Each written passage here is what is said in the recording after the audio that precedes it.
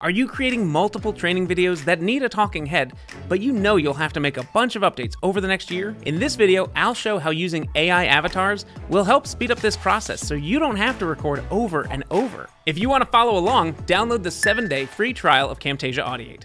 Let's get started. First, open Audiate. If you already have a script written, paste it in. And if not, we have a video here showing you how to generate a script using AI.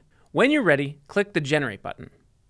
Go to the Generate Audio tab, scroll through a selection of voices, and when you found one you like, click Generate Audio.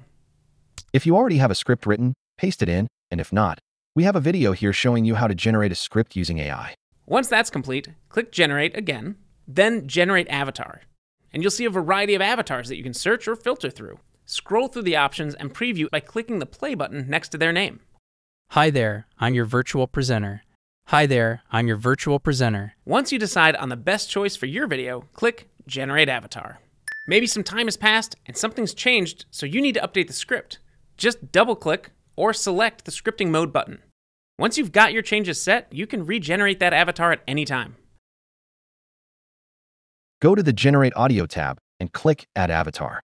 The ability to make these quick changes will save you time not having to record over and over again. And here's a cool feature to keep your audience engaged. You can assign different avatars or even different voices to separate sections of your script. To create a new section, press the Enter key twice. When you're ready, export your avatar to Camtasia to combine with other media in a video project. You must have Camtasia version 2024.1 or later to do this. Once in Camtasia, there are plenty of ways to showcase your avatar. Remove the background, add a virtual background, or create a picture-in-picture effect to complete your training video. Now you know how to generate an AI avatar with Camtasia Audiate. If you enjoyed this video, give it a like, and if you haven't already, subscribe to our channel for more great content. Thanks for watching.